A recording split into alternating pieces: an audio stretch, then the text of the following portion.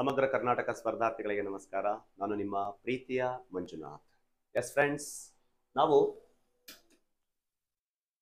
ನಾವು ಕರ್ನಾಟಕದ ಇತಿಹಾಸ ಸರಣಿಯನ್ನು ಪ್ರಾರಂಭಿಸಿದ್ವಿ. ಕರ್ನಾಟಕದ ಇತಿಹಾಸ ಸರಣಿಯಲ್ಲಿ ಈಗಾಗಲೇ ಶಾತವಾನರು ಅನ್ನುವ ಒಂದು ಮೊದಲನೇ ಅಧ್ಯಾಯ ಮುಗಿಸಿಕೊಂಡು ನಂತರ ಎರಡನೇ ಅಧ್ಯಾಯವಾದ ಕದಂಬರ ಬಗ್ಗೆ ನಾವು ಇವತ್ತು ಮಾತಾಡೋಣ. ಓಕೆ ಇಲ್ಲಿ ಕದಂಬರ ಬಗ್ಗೆ ಮಾತಾಡೋಣ.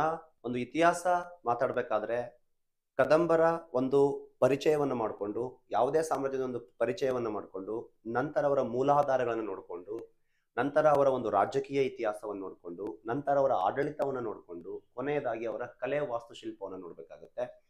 ಹೀಗೆ ಒಂದು ಇತಿಹಾಸವನ್ನ ಸ್ಟೆಪ್ ಬೈ ಸ್ಟೆಪ್ ನಾವು ಅಭ್ಯಾಸ ಮಾಡಬೇಕಾಗುತ್ತೆ. ಇವತ್ತು ನಾವು ಮಾತನಾಡುವಂಥ ಒಂದು ಪ್ರಮುಖ ಟಾಪಿಕ್ ಏನಂದ್ರೆ ಕದಂಬರು. ಓಕೆ? ಬನವಾಸಿಯ ಕದಂಬರು. ಎಲ್ಲಿಯ? ಬನವಾಸಿಯ ಕದಂಬರು. ಬನವಾಸಿಯ ಕದಂಬರು. ಬನವಾಸಿಯ ಕದಂಬರು ಅಂತ ಬಂದಾಗ ಕ್ರಿಸ್ತಶಕ ಮುನ್ನೂರ ನಲವತ್ತೈದರಿಂದ ಕ್ರಿಸ್ತಶಕ ಮುನ್ನೂರ ನಲವತ್ತೈದರಿಂದ ಕ್ರಿಸ್ತಶಕ ಐನೂರ ನಲವತ್ತರವರೆಗೆ ಕ್ರಿಸ್ತಶಕ ಐನೂರ ನಲವತ್ತರವರೆಗೆ ಒಟ್ಟು ಎರಡ್ನೂರು ವರ್ಷಗಳ ಕಾಲ ಆಳ್ವಿಕೆ ಮಾಡಿದರು. ಎಳ್ನೂರು ವರ್ಷಗಳ ಕಾಲ ಆಳ್ವಿಕೆ ಮಾಡಿದರು. ಇಲ್ಲಿ ಬನವಾಸಿಯ ಕದಂಬರು ಅಂತ ನಾವು ನೋಡುವಾಗ, ಈ ಬನವಾಸಿಯ ಕದಂಬರು ಈ ಮನೆತನದ ಸ್ಥಾಪಕ ಯಾರು ಅಂದ್ರೆ ಮಯೂರ ವರ್ಮ ಸ್ಥಾಪಕ. ಈ ಮನೆತನದ ಸ್ಥಾಪಕ ಯಾರು ಅಂದ್ರೆ ಮಯೂರವರ್ಮ. ಮಯೂರ ವರ್ಮ ಹೌದಾ? ಇವರ ಒಂದು ಪರಿಚಯ ನೋಡ್ಕೊಳ್ಳೋಣ ಮೊದಲು. ಪರಿಚಯ. ಆಮೇಲೆ ಶಾಸನಗಳಿಗೆ ಇಳಿಯೋಣ. ಈ ಮನೆತನದ ಸ್ಥಾಪಕ ಮಯೂರ ವರ್ಮನಾಗಿರ್ತಾನೆ ಇವರ ರಾಜ್ಯ ಲಾಂಛನ ಯಾವ್ದಾಗಿರುತ್ತಂದ್ರೆ ಸಿಂಹವಾಗಿರುತ್ತೆ. ಇವರ ಧ್ವಜ ಅಂತ ಬಂದಾಗ ವಾನರ ಧ್ವಜ. ಇವರ ರಾಜ್ಯ ಲಾಂಛನ ಯಾವ್ದಂದ್ರೆ ರಾಜ್ಯ ಲಾಂಛನ. ರಾಜ್ಯ ಲಾಂಛನ. ಸಿಂಹ ರಾಜ್ಯ ಲಾಂಛನ ಸಿಂಹ. ಇವರ ಧ್ವಜ ಅಂತ ಬಂದ್ರೆ, ಧ್ವಜ ಅಂತ ಬಂದ್ರೆ, ಇವರ ಧ್ವಜ ಅಂತ ಬಂದ್ರೆ ವಾನರ ಧ್ವಜ. ವಾನರ ಧ್ವಜ. ಇವರ ರಾಜಧಾನಿ ಅಂತ ನೋಡೋದಾದ್ರೆ, ಇವರ ರಾಜಧಾನಿ. ಯಾವುದು? ಹೇಳಿ. ಬನವಾಸಿ. ಬನವಾಸಿ. ಬನವಾಸಿ ಇವರ ಒಂದು ರಾಜಧಾನಿ ಆಗಿರುತ್ತೆ ಈ ರಾಜಧಾನಿ ಎಲ್ಲಿದೆ ಅಂತಂದ್ರೆ ಬನವಾಸಿ, ಉತ್ತರ ಕನ್ನಡ ಜಿಲ್ಲೆಯ ಉತ್ತರ ಕನ್ನಡ ಜಿಲ್ಲೆಯ ಶಿರಸಿ ಎನ್ನುವಂತ ಒಂದು ತಾಲೂಕಿನ ವರದಾ ನದಿಯ, ಯಾವ ನದಿಯ? ವರದಾ ನದಿಯ ಎಡದಂಡೆಯ ಮೇಲಿದೆ. ಉತ್ತರ ಕನ್ನಡ ಜಿಲ್ಲೆ ಶಿರಸಿ ತಾಲೂಕಿನ ವರದಾ ನದಿಯ ಎಡದಂಡೆಯ ಮೇಲೆ ಇವರ ಒಂದು ರಾಜಧಾನಿ ಬರುತ್ತೆ. ಇವರ ಎರಡನೇ ರಾಜಧಾನಿ ಅಂತ ನೋಡೋದಾದ್ರೆ ಇದು ಯಾವುದಂದ್ರೆ ಹಲಸಿ. ಇವರ ಎರಡನೇ ರಾಜಧಾನಿ. ಎರಡನೇ ರಾಜಧಾನಿ ರಾಜಧಾನಿ. ಇವರ ಒಂದು ಎರಡನೇ ರಾಜಧಾನಿ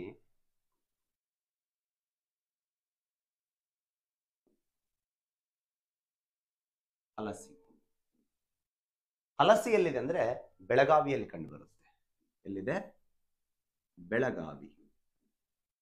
ಬೆಳಗಾವಿ. ಇಲ್ಲಿ ನೆಕ್ಸ್ಟ್ ಬಂದ್ಬಿಟ್ಟು ಇವರ ಒಂದು ಭಾಷೆ ಅಂತ ನೋಡೋದಾದ್ರೆ ಪ್ರಾಕೃತ ಭಾಷೆ, ನಂತರ ಕನ್ನಡದ ಭಾಷೆ. ಪ್ರಾಕೃತ, ಆಡಳಿತ ಭಾಷೆ. ಯಾವ ಭಾಷೆ? ಆಡಳಿತ ಭಾಷೆ.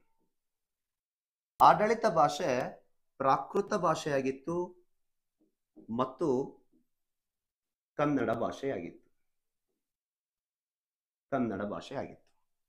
ಕರ್ನಾಟಕವನ್ನಾಳಿದ ನಾವು ಪ್ರಥಮ ಮನೆತನ ಅಂತ ಬಂದ್ರೆ ಶಾತವಾನರು ಅಂತ ಕರಿತೀವಿ.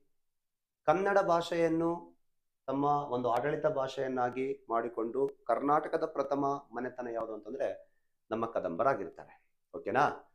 ಎಸ್ ಇವರ ಒಂದು ಆರಾಧ್ಯ ದೇವರು ಅಥವಾ ಕುಲ ದೇವರು. ಆರಾಧ್ಯ ದೇವರು ಅಥವಾ ಕುಲ ದೇವರು ಆರಾಧ್ಯ ದೇವರು. ಆರಾಧ್ಯ ದೇವರು ಯಾರು ಅಂದ್ರೆ ನಿಮಗೆ ಗೊತ್ತು, ಬನವಾಸಿಯಲ್ಲಿ ಬರ್ತಕ್ಕಂಥ ಮಧುಕೇಶ್ವರ ದೇವಾಲಯ. ಮಧುಕೇಶ್ವರ. ಬನವಾಸಿಯಲ್ಲಿ ಬರ್ತಕ್ಕಂಥ ಮಧುಕೇಶ್ವರ ಇವರ ಒಂದು ಆರಾಧ್ಯ ದೇವರಾಗಿತ್ತು. ಹಾಗಾಗಿ ಮಧುಕೇಶ್ವರ ಎನ್ನುವಂತ ಒಂದು ಆರಾಧ್ಯ ದೇವರಾದ ಕಾರಣ ನಾವು ಇವರಿಗೆ ವೈದಿಕ ಧರ್ಮವನ್ನು ಅನುಸರಿಸುತ್ತಿದ್ದರು ಅಂತ ಹೇಳ್ಬೋದು. ಆ ವೈದಿಕ ಧರ್ಮದಲ್ಲಿ ಯಾವುದಂದ್ರೆ ಶೈವ. ಮಧುಕೇಶ್ವರ ಈಶ್ವರ ಶೈವ ಅಂದ್ರೆ ಶಿವ. ಇಲ್ಲಿ ನೆಕ್ಸ್ಟ್ ಬಂದ್ಬಿಟ್ಟು ಇವರ ಒಂದು ಪ್ರಸಿದ್ಧ ಅರಸ ಯಾರು ಅಂದ್ರೆ ಪ್ರಸಿದ್ಧ ಅರಸ ಯಾರಾಗಿರ್ತಾರಂದ್ರೆ ಮಯೂರ ವರ್ಮ ಮಯೂರ ವರ್ಮ ಇವನೇ ಪ್ರಾರಂಭಿಕ ಒಬ್ಬ ಅರಸನು ಸಹ ಆಗಿದ್ದ. ಎಸ್ ಇವರ ಒಂದು ಕುಲ ಅಂತ ನೋಡೋದಾದ್ರೆ, ಕುಲ ಅಂತ ನೋಡೋದಾದ್ರೆ ಭಾರತಿ ಬ್ರಾಹ್ಮಣ. ಭಾರತಿ ಬ್ರಾಹ್ಮಣ. ಇವರ ಒಂದು ಗೋತ್ರ ಅಂತ ನೋಡೋದಾದ್ರೆ, ಗೋತ್ರ ಅಂತ ನೋಡೋದಾದ್ರೆ ಮಾನವ್ಯ ಪಂಗಡ. ಮಾನವ್ಯ ಪಂಗಡ. ಹೌದಾ? ನಂತರ ಇವರ ಒಂದು ಶಿಕ್ಷಣ ಕೇಂದ್ರ ಅಥವಾ ನಾವು ಘಟಿಕ ಅಂತಲೂ ಸಹ ಕರಿತೀವಿ. ಶಿಕ್ಷಣ ಕೇಂದ್ರ. ನೋಡಿ, ತಾಳಗುಂದ ತಾಳಗುಂದ, ಇವರ ಒಂದು ಶಿಕ್ಷಣ ಕೇಂದ್ರ. ತಾಳಗುಂದ ಶಿವಮೊಗ್ಗದ ಶಿಕಾರಿಪುರದಲ್ಲಿ ಕಂಡು ಬರುತ್ತೆ. ಈ ಒಂದು ತಾಳಗುಂದ ಇವರ ಒಂದು ಘಟಿಕ ಅಥವಾ ಶಿಕ್ಷಣ ಅಥವಾ ಇವರ ಒಂದು ಒಂದು ಏನಪ್ಪಾ ಅಂತಂದ್ರೆ ಈ ಒಂದು ವಿದ್ಯಾಭ್ಯಾಸಕ್ಕೆ ಒಳಪಡುವ ಒಂದು ಪ್ರದೇಶವಾಗಿತ್ತು. ಇವರ ಒಂದು ಕೊನೆಯ ಅರಸ ಕೊನೆಯ ಅರಸ ಅಥವಾ ಕೊನೆಯ ದೊರೆ ಯಾರಾಗಿರ್ತಾರಂದ್ರೆ ಎರಡನೇ ಕೃಷ್ಣ. ಇವರ ಒಂದು ಕೊನೆಯ ದೊರೆ ಎರಡನೇ ಕೃಷ್ಣ ಅಂತ ನಾವು ಕರಿತೀವಿ. ಈ ಎರಡನೇ ಕೃಷ್ಣ ಬಾದಾಮಿ ಚಾಲುಕ್ಯರ ಒಂದನೇ ಪುಲಕೇಶಿ ಕೈಯಲ್ಲಿ ಸೋತು. ಈ ಸಾಮ್ರಾಜ್ಯ ಅಲ್ಲಿಗೆ ಏನಾಗುತ್ತೆ? ಅಂತ್ಯಗೊಳ್ಳುತ್ತೆ. ನೋಡಿ, ಬನವಾಸಿ ಕದಂಬರ ಒಂದು ಪ್ರಾರಂಭಿಕ ಅರಸ, ಪ್ರಸಿದ್ಧ ಅರಸ ಅಂತ ಕರೆಸಿಕೊಳ್ಳುವ ಮಯೂರವರ್ಮ. ಹೌದಾ? ಎಸ್ ಇಲ್ಲಿ ಮಯೂರವರ್ಮನ ಒಂದು ಆಳ್ವಿಕೆ ದಕ್ಷಿಣ ಭಾರತದ ಇದಿಷ್ಟು ಭೂಪ್ರದೇಶವನ್ನು ಒಳಗೊಂಡಿತ್ತು ಅದರಲ್ಲಿ ಪ್ರಮುಖವಾಗಿ ಅದಂದ್ರೆ ನಮ್ಮ ಕರ್ನಾಟಕವಾಗಿತ್ತು. ಈ ನಮ್ಮ ಕರ್ನಾಟಕದಲ್ಲಿ ಇವರು ಹಲವಾರು ಜಿಲ್ಲೆಗಳಲ್ಲಿ ಆಳ್ವಿಕೆ ಮಾಡಿದ್ದಾರೆ. ಒಂದು ನಿಮಿಷ.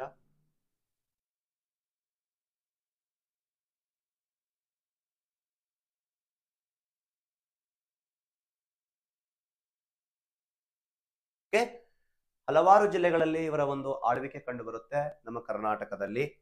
ನೋಡೋಣ ಯಾವ್ಯಾವ ಜಿಲ್ಲೆಯಲ್ಲೂ ಸಹ ಕಂಡು ಬರುತ್ತೆ ಅಂತ ಹೇಳಿ ಮ್ಯಾಪ್ ಮುಖಾಂತರ.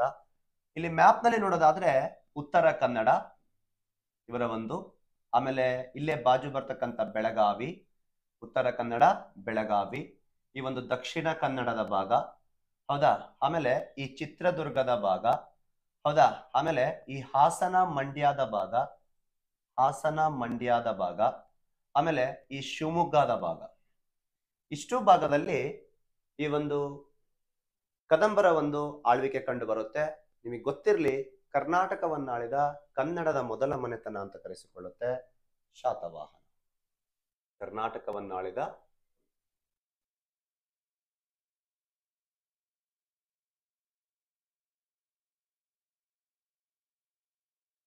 ಕರ್ನಾಟಕವನ್ನು ಆಳಿದ ಕನ್ನಡದ ಮೊದಲ ಮನೆತನ.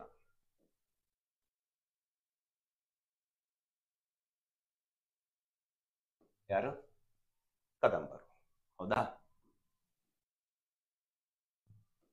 ಕರ್ನಾಟಕವನ್ನಾಳಿದ ಕನ್ನಡದ ಮೊದಲ ಮನೆತನ ಕದಂಬರು, ಕರ್ನಾಟಕವನ್ನಾಳಿದ ಮೊದಲ ಮನೆತನ ಬಂದ್ರೆ ಶಾತವಾನರು.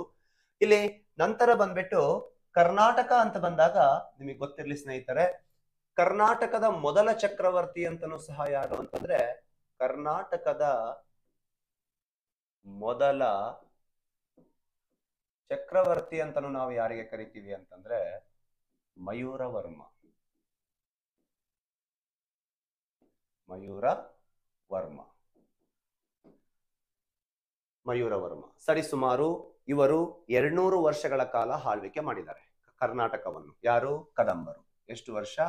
ಏಳ್ನೂರು ವರ್ಷಗಳ ಕಾಲ ವರ್ಷಗಳ ಕಾಲ ಒಂದು ಆಳ್ವಿಕೆ ಮಾಡಿದ ಮನೆತನ ಅಂತೇನು ಕರೆಸಿಕೊಳ್ಳುತ್ತಲ್ಲ? ಕ್ರಿಸ್ತಶಕ ಎಷ್ಟರಿಂದ? ಮುನ್ನೂರ ನಲವತ್ತೈದರಿಂದ ಕ್ರಿಸ್ತಶಕ ಐನೂರ ನಲವತ್ತರವರೆಗೆ ಎರಡ್ನೂರು ವರ್ಷಗಳು. ಶತಮಾನಗಳು ಅಂತ ಬಂದಾಗ ಮುನ್ನೂರ ನಲವತ್ತೈದರ ನಾಲ್ಕನೇ ಶತಮಾನ, ಐದನೇ ಶತಮಾನ ಮತ್ತು ಆರನೇ ಶತಮಾನ. ಹೌದಾ? ಈ ರೀತಿ ಒಂದು ಮೂರು ಶತಮಾನಗಳು, ಎರಡ್ನೂರು ವರ್ಷಗಳು ಆಳ್ವಿಕೆ ಮಾಡಿದ ಒಂದು ಮನೆತನ, ಕನ್ನಡದ ಮೊದಲ ಮನೆತನ ಅಂತ ಕರೆಸಿಕೊಳ್ಳೋದು ಯಾವ್ದಾಗಿರುತ್ತೆ? ಕದಂಬರು ಎಸ್, ನಿಮಗೆ ಗೊತ್ತಿರಲಿ. ಕ್ರಿಸ್ತಶಕ ಎರಡನೇ ಶತಮಾನದಲ್ಲಿ ಇಟಲಿಯ ಒಬ್ಬ ಪ್ರವಾಸಿಗ ಭಾರತಕ್ಕೆ ಬರ್ತಾನೆ. ಅವನು ದಕ್ಷಿಣ ಭಾರತಕ್ಕೂ ಸಹ ಭೇಟಿ ನೀಡ್ತಾನೆ. ಯಾರು ಅಂತಂದ್ರೆ ಟಾಲೆಮಿ. ತಾನು ಒಂದು ಜಿಯೋಗ್ರಾಫಿಕ ಅನ್ನುವಂತ ಒಂದು ಗ್ರಂಥದಲ್ಲಿ ಈ ಒಂದು ಬನವಾಸಿಯನ್ನ ಏನೆಂದು ವರ್ಣಿಸಿದ್ದಾನೆ ಅಂದ್ರೆ ಬೈಜಾಂಟಿಯಾನ್ ಎಂದು ಕರೆದಿದ್ದಾನೆ. ಯಾರು? ಇಟಲಿಯ ಪ್ರವಾಸಿಗ. ಎಷ್ಟರಲ್ಲಿ ಬರ್ತಾನೆ? ಕ್ರಿಸ್ತಶಕ ಎರಡನೇ ಶತಮಾನದಲ್ಲಿ. ಕ್ರಿಸ್ತಶಕ ಎರಡನೇ ಶತಮಾನದಲ್ಲಿ ಇಟಲಿಯ ಪ್ರವಾಸಿಗನಾದ ಯಾವ ದೇಶದ? ಇಟಲಿಯ ಪ್ರವಾಸಿಗನಾದ ಪ್ರವಾಸಿಗನಾದ ಟಾಲೆಮಿ ದಕ್ಷಿಣ ಭಾರತಕ್ಕೆ ಭೇಟಿ ನೀಡುತ್ತಾನೆ. ದಕ್ಷಿಣ ಭಾರತಕ್ಕೆ ಭೇಟಿ ನೀಡುತ್ತಾನೆ. ಭೇಟಿ ನೀಡಿ ಇವನ ಗ್ರಂಥ ಯಾವುದು ಅಂದ್ರೆ ಇವನೊಂದು ಪ್ರಮುಖ ಗ್ರಂಥ ಯಾವ್ದಾಗಿರುತ್ತಂದ್ರೆ, ನಮ್ಮ ಸಬ್ಜೆಕ್ಟು ಜಿಯೋಗ್ರಾಫಿಕಾ. ಹೌದಾ? ಭೂಕೇಂದ್ರ ಸಿದ್ಧಾಂತವನ್ನು ಮಂಡಿಸಿ ಇವನ ಸಿದ್ಧಾಂತ ಏನಾಗುತ್ತೆ? ತಪ್ಪಾಗುತ್ತೆ. ಯಾರು ಅಂದ್ರೆ ಟಾಲೆಮಿ ಇರ್ಲಿ. ಈ ಗ್ರಂಥದಲ್ಲಿ ಬನವಾಸಿಯನ್ನ ಬೈಜಂಟಿಯಾನ್ ಬೈಜಂಟಿಯಾನ್ ಎಂದು ಕರೆದಿದ್ದಾನೆ. ಯಾರು? ಇಟಲಿಯ ಪ್ರವಾಸಿಗ. ಕ್ರಿಸ್ತಶಕ ಏಳನೇ ಶತಮಾನದಲ್ಲಿ ಸ್ಯೂಕಿ ಎನ್ನುವಂಥ ಒಂದು ಗ್ರಂಥವನ್ನು ಬರೆದ ಒಬ್ಬ ಪ್ರವಾಸಿಗನಾದ ಹ್ಯುವೆನ್ಸಾಂಗ್ ಈ ಒಂದು ಪ್ರದೇಶಕ್ಕೆ ಭೇಟಿ ನೀಡಿ. ಈ ಒಂದು ಪ್ರದೇಶಕ್ಕೆ ಏನು ಕರಿತಾನೆ ಅಂದ್ರೆ ಕೋನಿಕಿನಾಕೊಪೋಲೋ ಕೊನಿಕಿನಾಕೊ ಪೋಲೋ ಅಂತಂದೇಳಿ ಕರೆದಿದ್ದಾನೆ. ಕ್ರಿಸ್ತಶಕ ಏಳನೇ ಶತಮಾನದಲ್ಲಿ ಏಳನೇ ಶತಮಾನದಲ್ಲಿ ಚೀನಿ ಯಾತ್ರಿಕ ಚೀನಿ ಯಾತ್ರಿಕ ಹುಯೆನ್ ಸಾಂಗ್ ಹೂವೆನ್ ಸಾಂಗ್ ಇವನ ಗ್ರಂಥ ಯಾವುದಂದ್ರೆ ಸಿಯುಕಿ ಆಗಿರುತ್ತೆ. ಇವನು ತನ್ನ ಗ್ರಂಥದಲ್ಲಿ ಹೇಳಿದಾನೆ ಈ ಒಂದು ಬನವಾಸಿ ಭೇಟಿ ನೀಡಿ ಕೋನಿಕಿ ನಾಕೋ ಪೋಲೋ. ಕೋನಿಕಿ ನಾಕೋ ಪೋಲೋ ಅಂತಂದೇಳಿ ಕರೆದಿದ್ದಾನೆ. ಕೊನಿಕಿ ನಾಕೋ ಪೋಲೋ ಅಂದ್ರೆ ಏನು ಅಂತಂದ್ರೆ ಕೊಂಕಣ ತೀರ ಅಂತ ಅರ್ಥ ಕೊಂಕಣ ತೀರ ಅಥವಾ ಕೊಂಕಣಪುರ ಅಂತ ಅರ್ಥ ಕೊಂಕಣಪುರ ಅಂತ ಅರ್ಥ ಕೊಡುತ್ತೆ. ಹೌದಾ? ಈ ರೀತಿ ಒಂದ್ ಒಬ್ಬ ವಿದೇಶಿ ಯಾತ್ರಿಕರು ಸಹ ಈ ಪ್ರದೇಶಕ್ಕೆ ಭೇಟಿ ನೀಡಿರ್ತಾರೆ ಎಸ್ ಹಾಗಾದ್ರೆ ಮಹಾಪುರಾಣಗಳಂತ ಕರೆಸಿಕೊಳ್ಳುವ ಯಾವ ಪುರಾಣಗಳಂದ್ರೆ ಒಂದು ರಾಮಾಯಣ, ಇನ್ನೊಂದು ಮಹಾಭಾರತ. ರಾಮಾಯಣ, ಮಹಾಭಾರತದಲ್ಲಿ ಈ ಒಂದು ಪ್ರದೇಶಗಳಿಗೆ ವಿವಿಧ ಹೆಸರುಗಳಿಂದ ಕರೆಯಲಾಗಿದೆ. ಯಾವುದರಲ್ಲಿ? ರಾಮಾಯಣ. ರಾಮಾಯಣ, ಮಹಾಭಾರತ, ಮಹಾಪುರಾಣಗಳಿವು ಮಹಾಭಾರತ ರಾಮಾಯಣ ಮಹಾಭಾರತದಲ್ಲಿ ಬನವಾಸಿಯನ್ನ ವನವಾಸಿ, ಕುಂತಳ ದೇಶ ಕುಂತಳ ದೇಶ, ಸಂಜಯತ ಸಂಜಯತ, ವೈಜಯಂತಿಪುರ,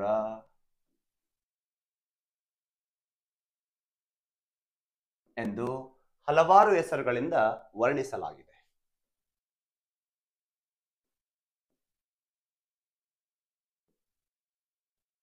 ಹಲವಾರು ಹೆಸರುಗಳಿಂದ ವರ್ಣಿಸಲಾಗಿದೆ. ಇಲ್ಲಿ ಶಾತವಾನರ ಒಂದು ಪರಿಚಯವಾದ ನಂತರ ನಾವು ಶಾತವಾನರದ ಒಂದು ಮೂಲಾಧಾರಗಳನ್ನು ನೋಡಿಕೊಂಡು ಬಂದಾಗ ನಮಗೆ ಅನೇಕ ಶಾಸನಗಳು ದೊರೆತಿವೆ. ಅನೇಕ ಶಾಸನಗಳಲ್ಲಿ ಒಂದು ಹಲ್ಮಿಡಿ ಶಾಸನ, ತಾಳಗುಂದ ಎನ್ನುವಂತ ಒಂದು ಶಾಸನ, ಚಂದ್ರವಳ್ಳಿ ಶಾಸನ, ಗುಡ್ನಾಪುರ ಶಾಸನ, ಆಮೇಲೆ ಮಳವಳ್ಳಿ ಎನ್ನುವಂತ ಶಾಸನಗಳು ಕಂಡು ಬರ್ತವೆ. ಈ ಐದು ಶಾಸನಗಳು ನಿಮಗೆ ಗೊತ್ತಿರಬೇಕು. ಬಹಳ ಇಂಪಾರ್ಟೆಂಟ್ ಆಗಿರುತ್ತೆ ಎಕ್ಸಾಮ್ ಪರ್ಪೋಸ್ ಆಗಿ. ಒಂದೊಂದು ಶಾಸನಗಳನ್ನ ನಾವು ನೋಡ್ಕೊಂತ ಹೋಗೋಣ. ಅದರಲ್ಲಿ ಒಂದನೇದಾಗಿ ತಗೊಳ್ಳೋಣ, ಹಲ್ಮಿಡಿ ಶಾಸನ. ಯಾವ ಶಾಸನ? ಹಲ್ಮಿಡಿ. ಇವರ ಮೂಲಾಧಾರಗಳು. ಮೂಲಾಧಾರಗಳು. ಮೂಲಾಧಾರಗಳಲ್ಲಿ ಮೊದಲನೇದಾಗಿ ಹಲ್ಮಿಡಿ ಶಾಸನ. ಹಲ್ಮಿಡಿ ಶಾಸನ ಅಂತ ಬಂದ್ರೆ ಇದು ಕ್ರಿಸ್ತಶಕ ನಾಲ್ಕನೂರ ಐವತ್ತಕ್ಕೆ ಸಂಬಂಧಪಡುವ ಒಂದು ಶಾಸನ. ನಾಲ್ಕನೂರ ಐವತ್ತಕ್ಕೆ ಸಂಬಂಧಪಡುವ ಒಂದು ಶಾಸನ ಆಗಿದೆ ಈ ಒಂದು ಹಲ್ಮಿಡಿ ಶಾಸನ ಎಲ್ಲಿದೆ ಅಂತಂದ್ರೆ ಹಾಸನ ಜಿಲ್ಲೆಯ ಬೇಲೂರಿನ ಹಲ್ಮಿಡಿ ಎಂಬ ಗ್ರಾಮದ ವೀರಭದ್ರೇಶ್ವರ ದೇವಾಲಯದಲ್ಲಿ ಕಂಡುಬರುತ್ತೆ. ಹಾಸನ ಜಿಲ್ಲೆ. ಹಾಸನ ಜಿಲ್ಲೆ ಬೇಲೂರು ತಾಲೂಕಿನ ಹಲ್ಮಿಡಿ ಎಂಬ ಗ್ರಾಮದ ವೀರಭದ್ರೇಶ್ವರ ದೇವಾಲಯ. ವೀರಭದ್ರೇಶ್ವರ ದೇವಾಲಯದಲ್ಲಿ ಕಂಡುಬರುತ್ತದೆ. ಕಂಡುಬರುತ್ತದೆ. ನೋಡಿ, ಇದನ್ನು ಸಂಶೋಧಿಸಿದವರು ಯಾರು ಅಂದ್ರೆ ಸಂಶೋಧಿಸಿದವರು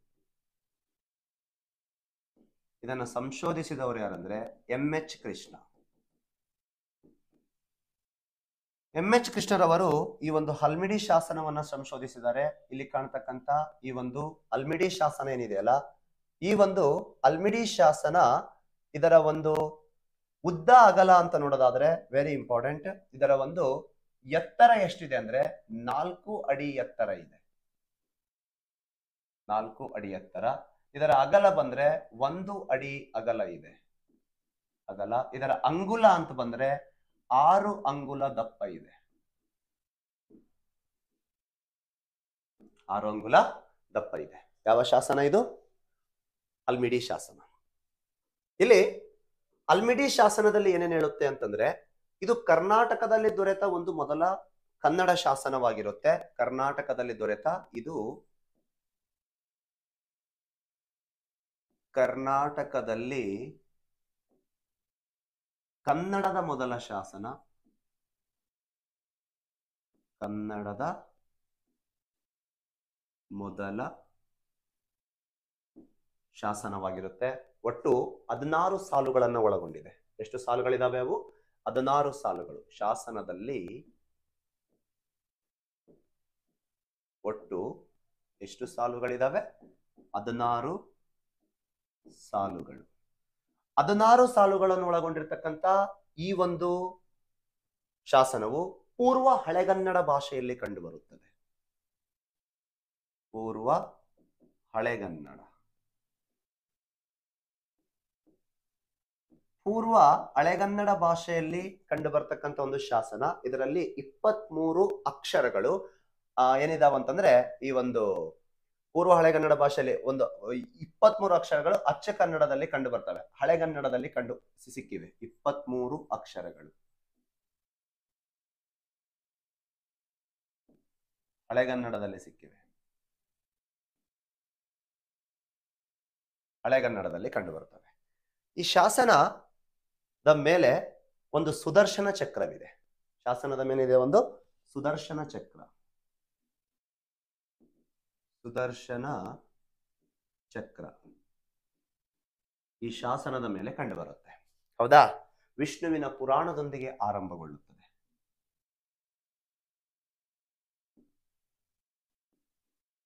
ವಿಷ್ಣುವಿನ ಪುರಾಣ.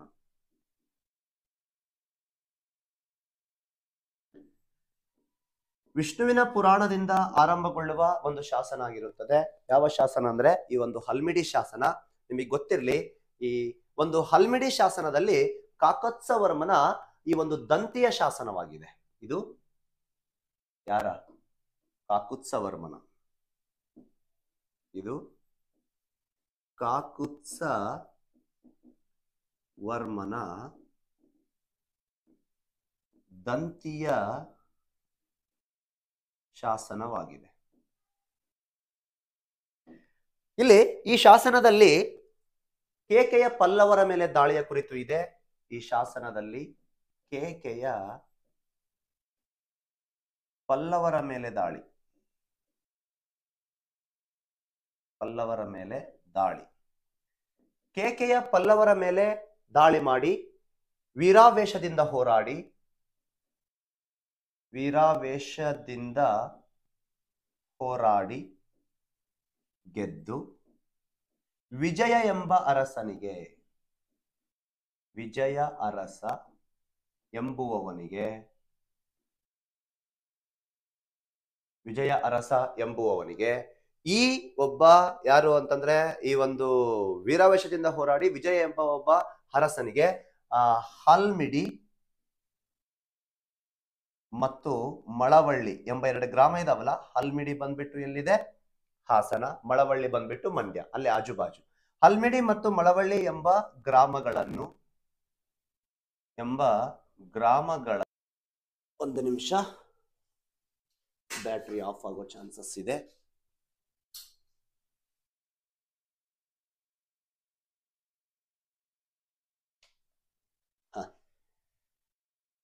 ಎಂಬ ಗ್ರಾಮಗಳನ್ನು ಬಿಟ್ಟುಕೊಟ್ಟ ರಾಜಾಜ್ಞೆ ಕಂಡುಬರುತ್ತದೆ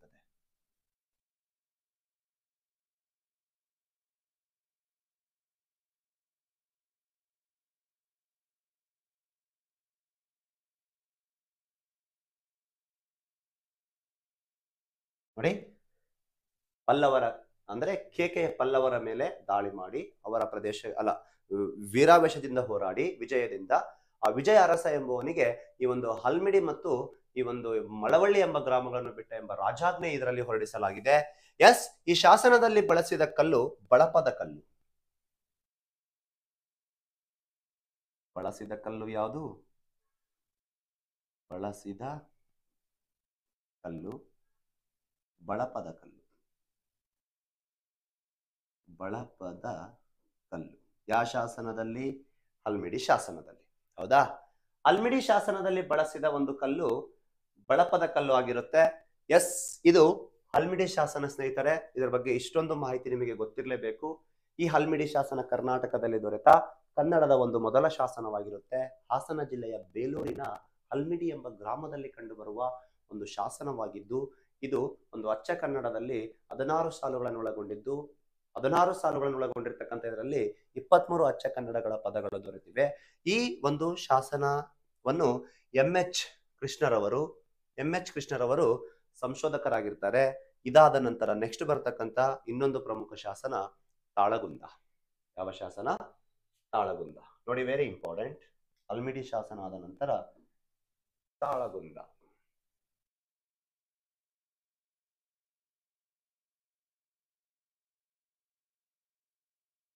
ತಾಳಗುಂದ ಶಾಸನ ಕ್ರಿಸ್ತ ಶಕ ನಾಲ್ಕನೂರ ಎಪ್ಪತ್ತ ಐದರಿಂದ ನಾಲ್ಕನೂರ ತೊಂಬತ್ತು. ಶಿವಮೊಗ್ಗ ಜಿಲ್ಲೆ ಶಿಕಾರಿಪುರದಲ್ಲಿ ಕಂಡುಬರುತ್ತೆ. ಎಲ್ಲಿದೆ? ಶಿವಮೊಗ್ಗ ಜಿಲ್ಲೆ ಶಿಕಾರಿಪುರ. ತಾಳಗುಂದ ಎಂಬ ಗ್ರಾಮ. ಶಿವಮೊಗ್ಗ ಜಿಲ್ಲೆ ಶಿಕಾರಿಪುರ ತಾಳಗುಂದ ಎಂಬ ಗ್ರಾಮದಲ್ಲಿ ಕಂಡುಬರುವ ಈ ಒಂದು ತಾಳಗುಂದ ಶಾಸನ, ಇದರ ಮೇಲ್ಭಾಗದಲ್ಲಿ ಶಿವನ ಒಂದು ಮೂರ್ತಿ ಕಂಡುಬರುತ್ತೆ, ಅದರ ಆರಾಧ್ಯತೆ ಸಹ ಕಂಡು ಬರ್ತಾ ಇದೆ, ಇದರ ಬಾಜು ನಂದಿನೂ ಸಹ ಕಂಡು ಬರುತ್ತೆ ಆಕಾಶದಲ್ಲಿ ಸೂರ್ಯನು ಸಹ ಕಂಡು ಬರ್ತಕ್ಕಂಥ ಒಂದು ಶಾಸನ. ಯಾವ ಶಾಸನ ಇದು ಅಂತಂದ್ರೆ, ತಾಳಗುಂದ ಎನ್ನುವಂತ ಶಾಸನ, ಇದು ಕರ್ನಾಟಕದಲ್ಲಿ ದೊರೆತ ಸಂಸ್ಕೃತದ ಒಂದು ಮೊದಲ ಶಾಸನವಾಗಿರುತ್ತೆ. ಹಾಗಾಗಿ ಇದು ಯಾವ ಭಾಷೆಯಲ್ಲಿ ಇದೆ ಅಂತಂದ್ರೆ ಸಂಸ್ಕೃತ. ಇದನ್ನು ಯಾರ ಬಗ್ಗೆ ವರ್ಣಿಸಲಾಗಿದೆ ಅದರಲ್ಲಿ ಅಂತಂದ್ರೆ ಶಾಂತಿ ವರ್ಮನ ಸಾರಿ ಇದರಲ್ಲಿ ಯಾರ ಬಗ್ಗೆ ವರ್ಣಿಸಲಾಗಿದೆ ಅಂದ್ರೆ ಕಾಕುತ್ಸ ವರ್ಮ, ಆದರೆ ಇದರ ಕರ್ತೃ ಅಂತ ಬಂದಾಗ ಕವಿ ಕುಬ್ಜ. ಕರ್ತೃ. ಕವಿ ಕುಬ್ಜ. ಇದನ್ನು ವರ್ಣಿಸಿದವರು ಯಾರು ಅಂದ್ರೆ, ವರ್ಣಿಸಿದವರು ಶಾಂತಿವರ್ಮ, ರಾಜ ಇವನು, ಶಾಂತಿವರ್ಮ. ಇವನು ಯಾರು ಅಂದ್ರೆ ಈ ಕಾಕುತ್ಸವರ್ಮನ ಮಗನಾಗಿರುತ್ತಾನೆ. ಕಾಕುತ್ಸವರ್ಮನ ಮಗ. ಈ ಕಾಕುತ್ಸವರ್ಮನ ಬಗ್ಗೆ ಇದರಲ್ಲಿ ವರ್ಣಿಸಲಾಗಿದೆ. ಯಾರು? ವರ್ಣಿಸಿದ್ದು ಶಾಂತಿವರ್ಮ. ಇದರ ಒಂದು ಕರ್ತೃ ಕವಿ ಕುಬ್ಜ ಯಾವ ಭಾಷೆಯಲ್ಲಿದೆ ಅಂತ ಹೇಳಿದೆ? ಸಂಸ್ಕೃತ. ವೆರಿ ಇಂಪಾರ್ಟೆಂಟ್ ಭಾಷೆ ಸಂಸ್ಕೃತ. ಸಂಸ್ಕೃತ ಭಾಷೆಯಲ್ಲಿದೆ. ಇದರಲ್ಲಿ ಒಂದು ವಿಶೇಷವಾಗಿ ತಾಳಗುಂದ ಶಾಸನವು ಕರ್ನಾಟಕದಲ್ಲಿ ದೊರೆತ ಕರ್ನಾಟಕದ ಮೊದಲ ಮತ್ತು ಕರ್ನಾಟಕದ ಮೊದಲ ಸಂಸ್ಕೃತ ಶಾಸನ. ಕರ್ನಾಟಕದಲ್ಲಿ ದೊರೆತ ಮತ್ತು ಕರ್ನಾಟಕದ ಮೊದಲ ಸಂಸ್ಕೃತ ಶಾಸನ ಹೌದಾ? ಶಾಂತಿವರ್ಮನು ತನ್ನ ತಂದೆಯ ಬಗ್ಗೆ ಅದರಲ್ಲಿ ಕಾಕುತ್ಸವರ್ಮನ ಬಗ್ಗೆ ಯಾವ ರೀತಿ ವರ್ಣಿಸಿದಾನಂದ್ರೆ, ಯಾರು? ಶಾಂತಿವರ್ಮ, ಕದಂಬರ ಕುಲಭೂಷಣ ಎಂದು ಕರೆದಿದ್ದಾನೆ. ಶಾಂತಿವರ್ಮನು ತನ್ನ ತಂದೆಯಾದ ಕಾಕುತ್ಸವರ್ಮನನ್ನು ಕಾಕುತ್ಸವರ್ಮನನ್ನು ಕದಂಬರ ಕುಲಭೂಷಣ ಕದಂಬರ ಕುಲಭೂಷಣ ಕದಂಬರ ಅಜಯ ಸೂರ್ಯ ಮತ್ತು ಕದಂಬರ ಕೀರ್ತಿ ಸೂರ್ಯ. ಎಂದು ವರ್ಣಿಸಿದ್ದಾನೆ. ಹೌದಾ? ಅಲ್ಲಿ ಹಲಸಿ ಶಾಸನ ಅಂತ ಬಂದಾಗ ಸಾರಿ ಹಲ್ಮಿಡಿ ಶಾಸನ ಅಂತ ಬಂದಾಗ ಅದು ವಿಷ್ಣುವಿನ ಆರಾಧದೊಂದಿಗೆ ಪ್ರಾರಂಭಗೊಂಡ್ರೆ ಇದು ಶಿವನ ಆರಾಧದೊಂದಿಗೆ ಪ್ರಾರಂಭಗೊಳ್ಳುತ್ತೆ. ಶಿವನ ಮಂತ್ರದೊಂದಿಗೆ ಆರಂಭ.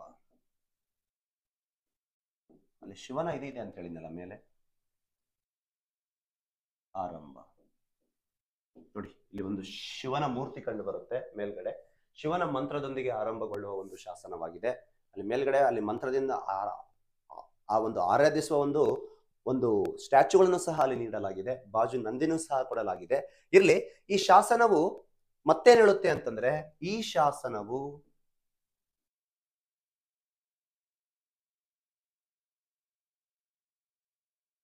ಕದಂಬರ ಮೂಲ ಸ್ಥಾಪನೆಯ ಕುರಿತು ಹೇಳುತ್ತದೆ. ಸ್ಥಾಪನೆಯ ಕುರಿತು ಹೇಳುತ್ತದೆ. ಈ ಶಾಸನವು ಕದಂಬರ ಮೂಲ ಸ್ಥಾಪನೆಯ ಕುರಿತು ಸಹ ವಿವರಿಸುವ ಒಂದು ಶಾಸನವಾಗಿರುತ್ತೆ. ಇದಾದ ನಂತರ ಈ ಶಾಸನದಲ್ಲಿ ಈ ಶಾಸನದಲ್ಲಿ ಈ ಶಾಸನದಲ್ಲಿ ದರ್ಬೆಯನ್ನು, ದರ್ಬೆ ಅಂದ್ರೆ ಹುಲ್ಲ, ದರ್ಬೆಯನ್ನು ಹಿಡಿದು ಕೈ ಉಜ್ಜಲವಾದ ಕತ್ತಿಯನ್ನು ತೊಟ್ಟಿತು. ದರ್ಬೆಯನ್ನು ಹಿಡಿದು ಕೈ ಉಜ್ಜಲವಾದ ಕತ್ತಿಯನ್ನು ತೊಟ್ಟಿತು. ಅವನೇ ಮಯೂರವರ್ಮ. ಅವನೇ ಮಯೂರವರ್ಮ. ಅವನೇ ಮಯೂರವರ್ಮ ಎಂದು ವರ್ಣಿಸಲಾಗಿದೆ. ಹೌದಾ? ಎಸ್ ಈ ಶಾಸನದಲ್ಲಿ ಅಷ್ಟೇ ಅಲ್ಲದೆ ಈ ಕಾಕುತ್ಸವರ್ಮ ನೂರ ನಲವತ್ನಾಲ್ಕು ಗ್ರಾಮಗಳನ್ನ ಈ ಬ್ರಾಹ್ಮಣರಿಗೆ ದಾನ ಮಾಡಿದ ಎಂದು ಸಹ ಹೇಳಲಾಗಿದೆ. ಈ ಶಾಸನದಲ್ಲಿ ಈ ಶಾಸನದಲ್ಲಿ ಕಾಕುತ್ಸವರ್ಮ ವೆರಿ ಇಂಪಾರ್ಟೆಂಟ್ ಕಾಕುತ್ಸವರ್ಮ ಯಾರಿಗೆ? ಬ್ರಾಹ್ಮಣರಿಗೆ ಬ್ರಾಹ್ಮಣರಿಗೆ ನೂರ ನಲವತ್ನಾಲ್ಕು ಗ್ರಾಮಗಳನ್ನು ದಾನವಾಗಿ ಕೊಟ್ಟ ದಾನವಾಗಿ ಕೊಟ್ಟ ಎಂದು ಹೇಳಲಾಗಿದೆ. ಇದರಲ್ಲಿ ಒಂದು ಮಾಹಿತಿ ಸಿಗುತ್ತೆ. ಹೌದಾ? ಈ ಶಾಸನದ ಒಂದು ವಿಶೇಷ ಏನಂದ್ರೆ, ಕೆಳಮುಖದಿಂದ ಮೇಲ್ಮುಖವಾಗಿ ಓದಬೇಕು ಶಾಸನದ ವಿಶೇಷ ಏನಂದ್ರೆ, ಕೆಳಮುಖದಿಂದ ಕೆಳಮುಖದಿಂದ ಮೇಲ್ಮುಖವಾಗಿ ಓದಬೇಕು ಮೇಲ್ಮುಖವಾಗಿ. ಈ ಶಾಸನವನ್ನು ಹದಿನೆಂಟುನೂರ ತೊಂಬತ್ನಾಲ್ಕರಲ್ಲಿ ಬಿ ಎಲ್ ರೈಸ್ ರವರು ಸಂಶೋಧಿಸಿದರು. ಯಾರು ಸಂಶೋಧಿಸಿದ್ದು? B L rice. ಆ ಶಾಸನ ಅಂತ ಬಂದಾಗ ಅಲ್ಮೇಡಿ ಶಾಸನ ಎಂ ಎಚ್ ಕೃಷ್ಣರವರು. ಈ ಶಾಸನ ಅಂತ ಬಂದಾಗ ಬಿ ಎಲ್ ರೈಸ್ ರವರು. ಆ ಶಾಸನ ಅಂತ ಬಂದಾಗ ಅದು ವಿಷ್ಣುವಿನ ಆರಾಧ್ಯದೊಂದಿಗೆ ಪ್ರಾರಂಭಗೊಳ್ಳುತ್ತೆ. ಈ ಶಾಸನ ಅಂತ ಬಂದಾಗ ಇದು ಶಿವನ ಆರಾಧ್ಯದೊಂದಿಗೆ ಪ್ರಾರಂಭಗೊಳ್ಳುತ್ತೆ. ಆ ಶಾಸನ ಅಂತ ಬಂದಾಗ ಅದು ಕನ್ನಡದ ಶಾಸನ ಆದರೆ ಈ ಶಾಸನ ಅಂತ ಬಂದಾಗ ಇದೊಂದು ಸಂಸ್ಕೃತ ಶಾಸನ ಆಗಿರುತ್ತೆ. ಓಕೆ ಫ್ರೆಂಡ್ಸ್ ಈ ಶಾಸನ ಯಾವುದು ಅಂದ್ರೆ ತಾಳಗುಂದ ಶಾಸನ. ಈ ತಾಳಗುಂದ ಶಾಸನ ಶಿವಮೊಗ್ಗದ ಶಿಕಾರಿಪುರದಲ್ಲಿ ಕಂಡು ಬರ್ತಕ್ಕಂಥ ಒಂದು ಶಾಸನವಾಗಿದೆ. ಎಸ್, ಅದೇ ರೀತಿ ನಾವು ನೋಡೋದಾದ್ರೆ ಇಲ್ಲಿ ಇನ್ನೊಂದು ಶಾಸನ ಅಂತ ಬಂದಾಗ ಅದು ಚಂದ್ರವಳ್ಳಿ ಶಾಸನ. ಯಾವ ಶಾಸನ? ಚಂದ್ರವಳ್ಳಿ ಶಾಸನ. ಈ ಚಂದ್ರವಳ್ಳಿ ಶಾಸನದ ಕರ್ತೃ ಮಯೂರ ಶರ್ಮ ಅಥವಾ ಮಯೂರವರ್ಮ ಪ್ರಾರಂಭಿಕ ಅರಸ ಮತ್ತು ಕದಂಬರ ಪ್ರಸಿದ್ಧ ಅರಸನಾದ ಮಯೂರವರ್ಮ ಈ ಶಾಸನದ ಒಂದು ಕರ್ತೃ ಆಗಿರ್ತಾನೆ. ಈ ಶಾಸನದಲ್ಲಿ ಈ ಶಾಸನದಲ್ಲಿ ವಿಶೇಷವಾಗಿ ಮಯೂರವರ್ಮನ ಸಾಧನೆ ಕುರಿತು ತಿಳಿಸಲಾಗಿದೆ. ಯಾರ ಸಾಧನೆ? ಮಯೂರವರ್ಮ. ಮಯೂರವರ್ಮನ ಸಾಧನೆ ಕುರಿತು ತಿಳಿಸಲಾದ ಈ ಶಾಸನ ಎಲ್ಲಿದೆ ಅಂತಂದ್ರೆ ಚಿತ್ರದುರ್ಗ ಜಿಲ್ಲೆಯಲ್ಲಿದೆ.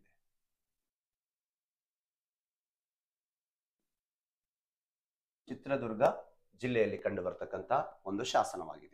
ಅಷ್ಟೇ ಅಲ್ಲದೆ ಇದನ್ನು ಸಹ ಒಂದು ಭಾಷೆ ಅಂತ ಬಂದ್ರೆ ಪ್ರಾಕೃತ ಭಾಷೆ. ಯಾವ ಭಾಷೆ? ಪ್ರಾಕೃತ ಭಾಷೆ. ಪ್ರಾಕೃತ ಭಾಷೆ. ಹೌದಾ? ಈ ಶಾಸನವು ಪ್ರಾಕೃತ ಭಾಷೆ ಅಂತಂದೇಳಿ ಅಭಿಪ್ರಾಯಪಟ್ಟ ವ್ಯಕ್ತಿ ಯಾರು ಅಂದ್ರೆ ಎಂ ಎಚ್ ಕೃಷ್ಣ. ಯಾರು? ಎಂ ಎಚ್ ಕೃಷ್ಣರವರಾಗಿರ್ತಾರೆ. ವಿಶೇಷವಾಗಿ ಈ ಶಾಸನದಲ್ಲಿ ಮಯೂರವರ್ಮನು ಈ ಒಂದು ನೀರಾವರಿ ಉದ್ದೇಶಕ್ಕಾಗಿ ಹದಿನೆಂಟು ಕೆರೆಗಳನ್ನು ನಿರ್ಮಿಸಿದ ಎಂದು ವಿವರಿಸುತ್ತದೆ. ಮಯೂರವರ್ಮನು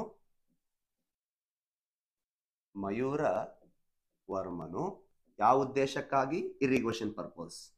ನೀರಾವರಿಗೆ ಹದಿನೆಂಟು ಕೆರೆಗಳನ್ನು, ಎಷ್ಟು ಕೆರೆಗಳನ್ನು? ಹದಿನೆಂಟು ಕೆರೆಗಳನ್ನು ನಿರ್ಮಿಸಿದ ಎಂದು ಇದರಲ್ಲಿ ಹೇಳಲಾಗಿದೆ. ನಿಮಗೆ ಗೊತ್ತಿರಲಿ ಕರ್ನಾಟಕದ ಒಂದು ಮೊದಲ ಕೆರೆ ಯಾವುದು ಅಂದ್ರೆ ಅದೇ ಮೊದಲ ಕೆರೆ ಚಂದ್ರವಳ್ಳಿ. ಚಂದ್ರವಳ್ಳಿ. ನಾನು ಹೇಳ್ತಿರೋದು ಮೊದಲ ಕೆರೆನ ಚಂದ್ರವಳ್ಳಿ? ಅತಿ ದೊಡ್ಡ ಕೆರೆ ಅಲ್ಲ. ಅತಿ ದೊಡ್ಡ ಕೆರೆ ಶಾಂತಿ ಸಾಗರ ಸುಳೆ ಕೆರೆ ಅಂತ ಬರುತ್ತೆ. ಎಲ್ಲಿ ಬರುತ್ತೆ ಕಮೆಂಟ್ ಮಾಡಿ. ನಾನು ಹೇಳ್ತಿರೋದು ಚಂದ್ರವಳ್ಳಿ. ಕೆರೆ ಇದು ಎಲ್ಲಿದೆ ಅಂದ್ರೆ ನಿಮಗೆ ಗೊತ್ತು? ಶಾಸನ ಇರುವ ಪ್ರದೇಶದಲ್ಲೇ ಚಿತ್ರದುರ್ಗ. ಚಿತ್ರದುರ್ಗ. ಇದು ಯಾವ ಶಾಸನ ಆಗಿರುತ್ತೆ ಅಂದ್ರೆ ಪ್ರಕೃತಿ ಭಾಷೆಯಲ್ಲಿ ಕಂಡು ಒಂದು ಚಂದ್ರವಳ್ಳಿ ಶಾಸನ. ಇನ್ನೆರಡು ಚಿಕ್ಕ ಶಾಸನಗಳು ಅಂತ ನೋಡೋದಾದ್ರೆ ಇಲ್ಲಿ ಒಂದು ಗುಡ್ನಾಪುರ ಶಾಸನ.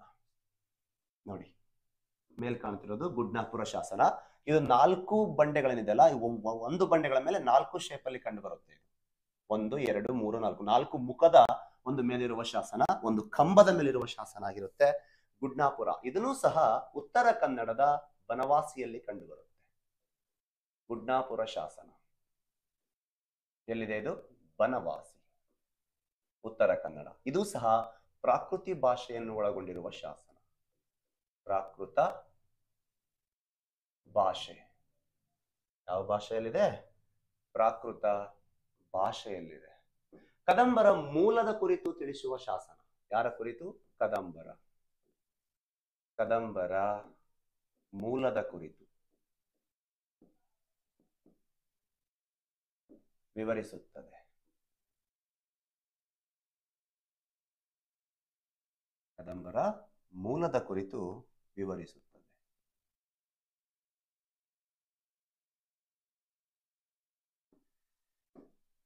ಕದಂಬರ ಮೂಲದ ಕುರಿತು ವಿವರಿಸುವ ಈ ಶಾಸನವು ಅವರು, ಅಂದರೆ ಕದಂಬರು, ನಿರ್ಮಿಸಿದ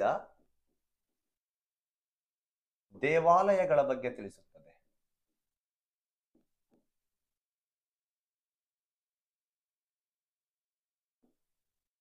ಈ ಶಾಸನದಲ್ಲಿ ಮಯೂರವರ್ಮನ ಅಜ್ಜ ವೀರಶರ್ಮ ಎಂದು ಕಂಡು ಬಂದಿದೆ ಮಯೂರವರ್ಮನ, ವರ್ಮನ ಅಜ್ಜ ಮತ್ತೆ ವೀರ ಶರ್ಮ ಎಂದು ಹೇಳುತ್ತದೆ. ಈ ವೀರಶರ್ಮನೇ ಮಯೂರವರ್ಮನ ಗುರು ಆಗಿದ್ದರು. ವೀರಶರ್ಮನ ಮಗ ಬಂದ್ರೆ ಬಂಧುಶೇನ ಅವನ ಮಗ ಬಂದ್ರೆ ಮಯೂರವರ್ಮನ ಆಗಿರ್ತಾನೆ. ಇಲ್ಲಿರ್ತಕ್ಕಂಥ ಶಾಸನ ಯಾವ್ದಿದು? ಗುಡ್ನಾಪುರ. ಕೊನೆಯದಾಗಿ ಮಳವಳ್ಳಿ. ಮಳವಳ್ಳಿ. ಮಂಡ್ಯದಲ್ಲಿ ಕಂಡು ಬರತಕ್ಕಂಥ ಮಳವಳ್ಳಿ ಶಾಸನ. ಮಳವಳ್ಳಿ ಅಂತ ಮಂಡ್ಯದಲ್ಲಿ ಕಂಡು ಬರುತ್ತೆ ಕಾವೇರಿ ನದಿಯ ಒಂದು ನದಿ ಬಂದು ಸಂಗಮವಾಗುತ್ತೆ. ಯಾವ ನದಿ ಅಂದ್ರೆ? ಶಿಂಷಾ. ಆ ಶಿಂಷಾ ನದಿ ಬಂದು ಸೇರೋ ಪ್ರದೇಶದಲ್ಲಿ ಮಳವಳ್ಳಿ ಎನ್ನುವಂತ ಒಂದು ಪ್ರದೇಶ ಇದೆ. ಇದು ಕ್ರಿಸ್ತ ಶಕ ನಾಲ್ಕುನೂರ ಐವತ್ತಕ್ಕೆ ಸಂಬಂಧಪಟ್ಟ ಒಂದು ಶಾಸನ. ಇದರ ಕರ್ತೃ ಕಾಕುತ್ಸವರ್ಮ. ಇದರ ಕರ್ತೃ ಯಾರು? ಕಾಕುತ್ಸವರ್ಮ. ಭಾಷೆ ಪ್ರಾಕೃತಿ. ಭಾಷೆ ಪ್ರಾಕೃತಿ.